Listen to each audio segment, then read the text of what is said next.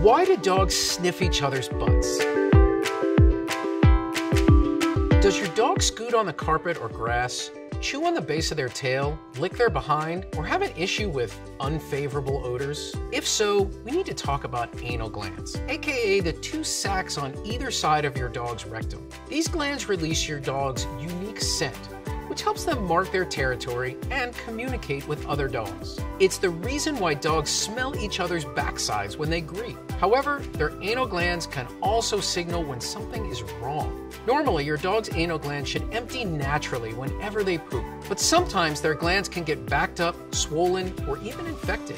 And there are two main ways to address this issue.